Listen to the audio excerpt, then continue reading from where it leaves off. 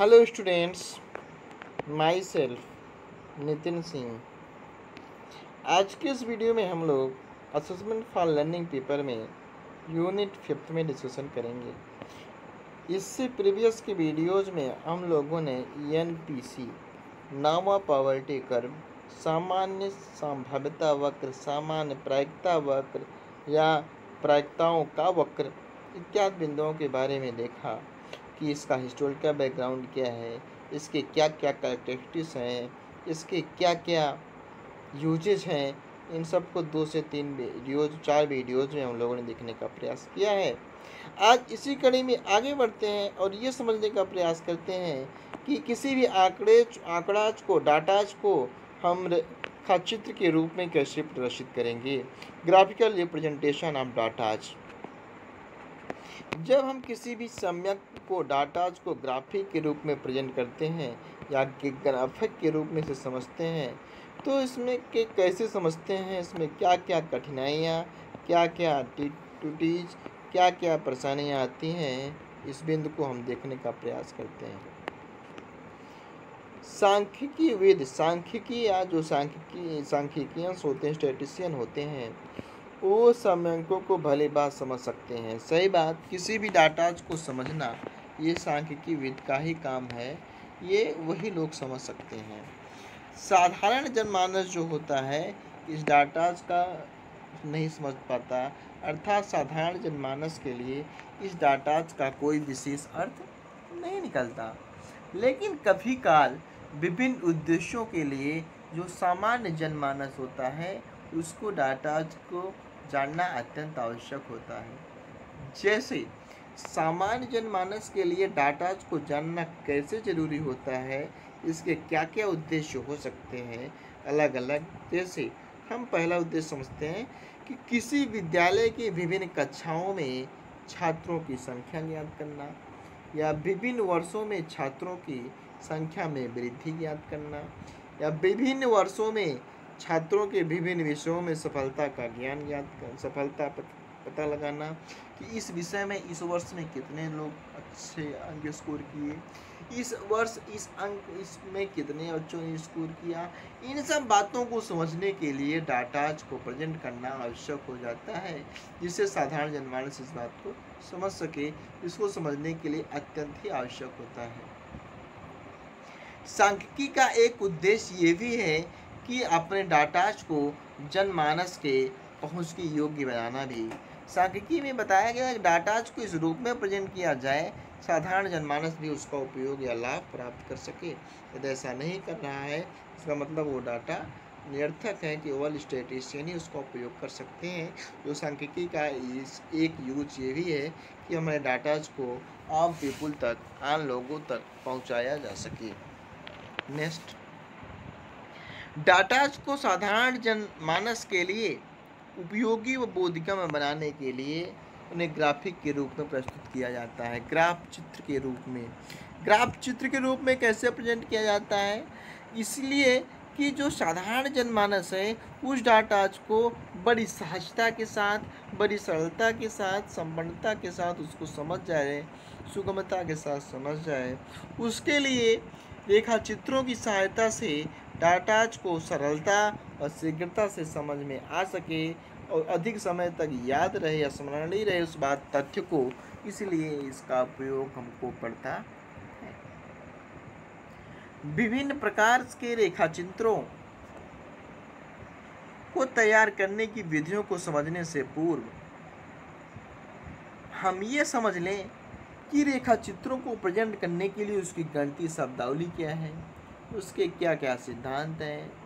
वो किसके किन किन परंपराओं को जान लेना उचित है? इसके जान लेने से डाटाज को बड़े व्यवस्थित रूप में कैसे प्रेजेंट किया जाता है? इन सब बातों को हम समझते हैं। इस प्रकार से हम दो संदर्भ की बात करें, निर्देशांक अक्ष की बात करें तो हम एक्सिस ऑफ़ कोऑर्डिनेट्स कहते हैं एक्स एक्सिस और वाई एक्सिस एक्स एक्सिस भुजांग आवश्यका और वर्टिकल जो वाई एक्सिस है, उसको वर्टिक्स के रूप में कैसे समझते हैं, उसका क्या इससे ग्राफ देखते हैं, इस बिंदु को हम देखने का प्रयास करते हैं, इस वीडियो में जानते हैं। देखिए, जब हम ये बात कर रहे हैं कि हम अपने डाटाज को ग्राफी के रूप में प्रेजेंट करने से पहले उसके कोऑर्डिनेट को समझते हैं या उसके कोऑर्डिनेट की बातों को हम जान लेते हैं तो इसमें दो तथ्य सामने आते हैं। ये जो कोऑर्डिनेट्स हैं, ये फोर कोऑर्डिनेट्स होते हैं। ये जो फोर कोऑर्डिनेट्स हैं, जो इस प्रकार हैं, जिसमें ये कहा गया कि डाटाज को first third coordinate second coordinate और थर्ड कोऑर्डिनेट में डिस्ट्रीब्यूट किया गया, जैसे कि ये। फ़र्स्ट कोऑर्डिनेट जिसमें एक्स एक्सिस ये और ये वर्टिकल वाई एक्सिस ये भी वाई एक्सिस एक्स एक्सिस में जो भी कोऑर्डिनेट पड़ेंगे अर्थात फ़र्स्ट कोऑर्डिनेट में ये दोनों पॉजिटिव होंगे। जैसे ये देखिए ज़ीरो एक्सिस है।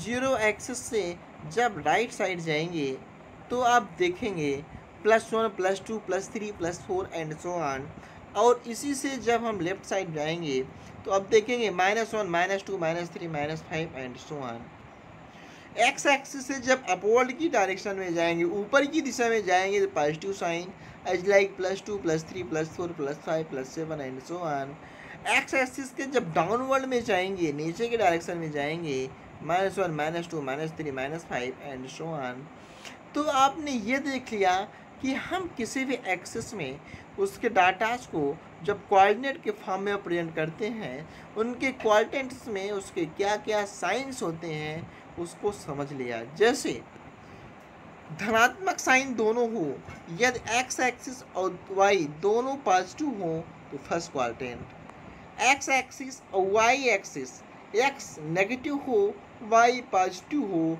तो सेकंड क्वालिटेंट जैसे, इसमें पॉइंट माइनस फोर और थ्री यक्स जो यक्स माइनस फोर है वो नेगेटिव है, अर्थात सेकंड क्वाड्रेंट और जो वाई एक्सिस की बात आती है, वो फ़र्स्ट क्वाड्रेंट हम क्वाड्रेंट जब लिखते रहे होते हैं तो पहला डिजिट जो लिखते हैं एक्स एक्सिस ही होता है। आप थर्ड क्वाड्रेंट की बात करेंगे तो आप देखेंगे दोनों नेगेटिव साइन यहाँ पे माइनस फोर ये माइनस टू अर्थात ये coordinate minus four minus two यहाँ पे दोनों साइन नेगेटिव पाया गया। और इसके जस्ट विपरीत आप अपोजिट जब ये देखेंगे फोर्थ क्वाड्रेंट तो आप समझेंगे फोर्थ क्वाड्रेंट्स में X axis positive Y axis negative it means X axis में plus two Y axis column में माइनस फोर यहाँ पे ये कोऑर्डिनेट बना टू माइनस फोर अब आप ये समझ चुके होंगे किसी भी डाटाज को ग्राफ के रूप में एक्स वाई एक्सिस पे कोऑर्डिनेट के फॉर्म में हम कैसे प्रेजेंट करेंगे? उसके कोऑर्डिनेट्स पोल्स में ये दोनों कोऑर्डिनेट्स पोल्स नेगेटिव साइन है, दोनों पॉजिटिव साइन है, या एक नेगेटिव है, या एक पॉजिटिव है। इसको हम किस एक्सेस में कितना मेज़रमेंट पे प्रेजेंट करेंगे? इस बात को आप लोगों ने समझ रखा है। अब हम इसी डाटाज को ये देखते हैं दंड आरेख के रूप में, बाई पाई चार्ट के रूप में वृत्त चार्ट के रूप में, ओलिगियो तोरण के रूप में रेक्टेंगल आयत के रूप में कैसे प्रेजेंट करेंगे बार ग्राफ में कैसे प्रेजेंट करेंगे, इस बात को समझेंगे और इसका पहला पार्ट हम समझेंगे। बार ग्राफ दंड आरेख, स्तंभाकृति कालम डायग्राम में हम डाटाज को कैसे प्रेजेंट करेंगे, कैसे समझेंगे, उसके कुछ क्रिटिकल बिंदुओं को अपने स्तर से समझने का प्रयास करते हैं। दंड आरेख को हम स्तंभ आरेख या कॉलम डायग्राम के नाम से भी जानते हैं। जब किसी समूह में विभिन्न गुणों वाले व्यक्तियों या वस्तुओं की संख्या प्रदर्शित करने के लिए या किसी गुण विशेष पर कई समूहों की स्थिति की तुलनात्मक प्रस्तुत के लिए प्राय दंड आरेख का प्रयोग किया जाता है। यह बात तो समझ में आ गई। जब किसी समूह की बात किया जाएगा, चाहे यह समूह का एक ही समूह का विभिन्न गुण होगा, विभिन्न गुणों वाले व्यक्ति लिए जाएँगे, या विभिन्न समूहों का एक गुण देखा जाएगा, या वस्तुओं की संख्या देखी जाएगी, या विभिन्न विशेष, किसी विशेष प्रकार के गुणों की स्थिति का तुलनात्मक बात कही जाएगी। तो इन सब बिंदुओं में आप दंड आरेख का ही उपयोग करेंगे। जैसे, किसी समूह में तीन या चार छात्रों में से चित्र को निम्नलिखित ढंग से प्रस्तुत किया गया। ये देखिए। इस समूह में छात्रों की बात हम लोगों ने कैसे देखा? ये देखिए, छात्र हैं समूह में, इस समूह में छात्राएँ हैं। इस समूह में तीन छात्र हैं, चार छात्राएँ हैं। इस समूह में वन टू थ्री छात्राएँ हैं। इस समूह में वन टू थ्री फोर छात्राएँ हैं। छात्र में संख्या तीन है, छात्रों की संख्या चार है। अब आप देखेंगे, इसका जो डंडारे का फिगर है, वो कुछ डिफरेंट है, उसकी आकृति अलग है। इसमें में भी तीन छात्र स्टूडेंट हैं, इसमें भी फोर स्टूडेंट्स हैं। फोर फीमेल स्टूडेंट छात्राएँ हैं। फोर बॉयज़ हैं थ्री बॉयज़ हैं फोर फीमेल स्टूडेंट्स हैं थ्री मेल स्टूडेंट्स हैं और फोर फीमेल स्टूडेंट्स हैं। इस डाटाज को आप इस रूप में भी, इस रूप में भी, इस रूप में भी, इस रूप में भी, कैसी भी फॉर्म में आप तीनों रूप में इसको प्रेजेंट कर सकते हैं, इस प्रकार की आकृति को हम दंड आकृति के नाम से समझ लेते हैं। आप ये भी जान जाइए कि एक्स वाई अच्छा। थोड़े इसके हिस्टोरिकल बैकग्राउंड को देखते हैं, जो फिगर आप लोगों ने देखा, इस फिगर में क्या मीनिंग समझाने का प्रयास हम लोग को किया गया है, इसके क्रिटिकल बिंदु को समझते हैं। जैसे छात्र छात्रों की संख्या को हम प्रथम साइन एक्शन के संख्याओं को द्वितीय चित्र के आयतों की संख्या से या तृतीय चित्र के दंड की लंबाई में प्रस्तुत किया जा सकते हैं किया जाता है।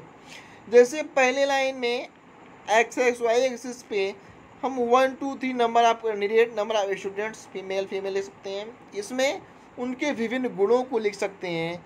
इस रेक्टेंगल के फॉर्म में अलग अलग शेप के फॉर्म में कैसे किया जाएगा, उसको हम प्रस्तुत करते हैं। इस विभिन्न प्रकार के चित्रण को दंड आरेख कहा जाता है। इसका बनाना सर्वाधिक सरल होने के कारण साधारण इसी प्रकार का प्रयोग किया जाता है। अधिकांश जो ये दंड का ग्राफ बार ग्राफ है, इसका बनाना बहुत ही ईजी होता है। इसीलिए अधिकांश हम इसी प्रकार के ग्राफ का उपयोग करते हैं। दंड आरेख की लंबाई छात्रों की संख्या या आवृत्ति के अनुपात में रखी जाती है। दंड आरेख लंबो तो क्षैतिज किसी भी दिशा में बनाया जाता है। दंड आरेख के विभिन्न रंगों, विभिन्न प्रकार की रेखाओं को भर देने से आकर्षक बन जाता है, जिससे हम अपने डाटाज को बड़े व्यवस्थित रूप में प्रस्तुत करते हैं। इसको समझते हैं। इस एग्ज़ाम्पल से बात आपको समझ में आ जाएगी, हम डाटाज को कैसे प्रेजेंट करते हैं। ये देखिए हमारे प्रकार के, हमारे पास इस प्रकार के डाटाज आपको मिलेंगे। इसमें क्या है? फ्रीक्वेंसी को, जो ऑब्ज़र्व फ्रीक्वेंसी को कैलकुलेट किया गया। फ़र्स्ट ऑप्शन पे 44 स्टूडेंट ने क्लिक एक क्वेश्चन दिया गया उसमें पाँच ऑप्शन है। पाँचों ऑप्शंस में कितने नंबर ऑफ़ कैंडिडेट्स ने सिलेक्ट किया? पहले क्वेश्चन पे 44 कैंडिडेट्स ने, दूसरे क्वेश्चन उसी क्वेश्चन के दूसरे ऑप्शन पर 106 कैंडिडेट ने सिलेक्ट किया। उसी क्वेश्चन के थर्ड ऑप्शन पे 198 स्टूडेंट ने सिलेक्ट किया। उसी क्वेश्चन के फोर ऑप्शन को केवल फिफ्टी टू स्टूडेंट्स ने सिलेक्ट किया। उसी क्वेश्चन को, उसी क्वेश्चन के फाइव ऑप्शन को हंड्रेड स्टूडेंट ने सिलेक्ट किया। अब इसी बात को आप साधारण जनमानस तक सहजता, सरलता के साथ पहुंचाना चाह रहे हैं, बताना चाह रहे हैं तो आप इसको दंड ग्राफ के रूप में कैसे प्रस्तुत करेंगे? ये देखते हैं इस फिगर से। जो एक्स एक्सिस पे कॉलम बना हुआ है, जैसे ये बातें। तो इसमें आप नंबर ऑफ़ कैंडिडेट पुटअप कर देंगे और वाई एक्सिस पे चयनित ऑप्शन चारों विकल्प one two three four five इसमें आप देखते हैं कि हर एक निश्चित क्लास इंटरवल के बाद या एक big division equal to fifty number of students तो जब एक विकल्प पे पचास विद्यार्थियों की बात हमने किया तो पचास पचास के इंटरवल में हमने नंबर ऑफ़ स्टूडेंट को पुटअप कर दिया। फिर ज़ीरो से फिफ्टी हंड्रेड से फिफ्टी वन फिफ्टी वन से हंड्रेड वन से फिफ्टी वन फिफ्टी वन से two hundred two hundred one से फाइव फिफ्टी तक। अब इस रो में वन टू थ्री फोर चयनित ऑप्शन अब देखिए, पहले ऑप्शन पे फोर्टी फोर कैंडिडेट ने सेलेक्ट किया। तो दूस, पहले ऑप्शन पे इसका जो फिगर बना, ये फिफ्टी है फिफ्टी से कुछ लेस इसका मतलब ये फोर्टी फोर दूसरे क्वेश्चन पे one hundred six student select किया। सौ ये है, इससे कुछ है वन हंड्रेड सिक्स तीसरे को ऑप्शन पे वन नाइन्टी एट स्टूडेंट ये टू हंड्रेड है, इससे कुछ अधिक one ninety eight fourth option पे फिफ्टी टू ये फिफ्टी इससे कुछ अधिक फिफ्टी टू फिफ्थ ऑप्शन पे हंड्रेड ये हंड्रेड है इक्यूरेट इस प्रकार से आकृति को आप दंड ग्राफ के रूप में इसको प्रेजेंट करते हैं, ऐसे दो ऑप्शन होगा नंबर ऑफ़ वैकेंसीज या नंबर ऑफ़ कैंडिडेट्स इसको हम इस रूप में ऐसे प्रस्तुत करते हैं। एक क्वेश्चन और देखते हैं, इसको हम भी प्रेजेंट करेंगे। किसी विभिन्न प्रकार का परीक्षण दिया गया या आपका होमवर्क है, आप लोग इसे करके कमेंट करके बताएँगे और इसके ग्राफ को आप भी करके भी कमेंट करेंगे। ये नम क्लास दिया गया। एक क्लास में कोई जी सामान्य ज्ञान का परीक्षण किया गया। उस सामान्य ज्ञान परीक्षण में पाया गया कि अधिकांश नंबर ऑफ़ कैंडिडेट्स का जो अंत्यमान है वो इस प्रकार है। जिसपे क्लास अलग अलग दिया गया। क्लास ट्वेल्व में फोर्टी सेवन मीन वैल्यू आई। क्लास इलेवन में फोर्टी फोर आई, क्लास टेंथ में फोर्टी टू आई, क्लास क्लास नाइन में थर्टी एट आई, क्लास एट में थर्टी थ्री आई, क्लास सेवन्थ में थर्टी आई, क्लास सिक्स में ट्वेंटी फाइव आई। इसी बात को आप दंड आरेख में कैसे प्रस्तुत करेंगे, इसका ग्राफ बना करके हमको आप कमेंट बॉक्स में दिखाएँगे, करेंगे शेयर करेंगे। इस प्रकार से हम आज के वीडियो में ग्राफ के बारे में समझने का प्रयास किया है। नेक्स्ट वीडियोज़ में पाई चार्ट या वृत्त ग्राफ के रूप में देखने का प्रयास करेंगे। डाटाज को इस ग्राफ के रूप में कैसे प्रेजेंट किया जाएगा। आज के लिए इतना ही। थैंक यू स्टूडेंट्स वीडियो को वॉच करने के लिए आपको वीडियो अच्छा लगे। वीडियो को लाइक करें शेयर करें और चैनल्स को नितिन लर्निंग स्टेशन आप लोग सब्सक्राइब करें जिस और बेल आइकन को भी प्रेस करें, जिससे आपका इसका फर्दर अपडेट मिलता रहे। Thank you class.